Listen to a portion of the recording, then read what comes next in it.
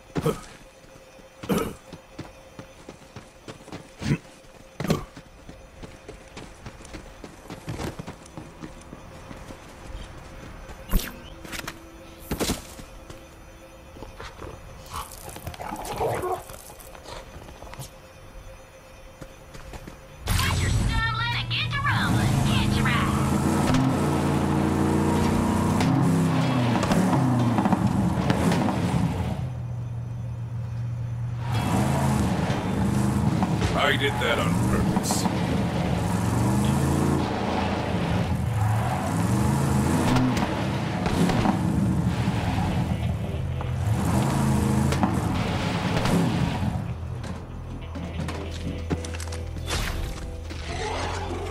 Glad to have you back.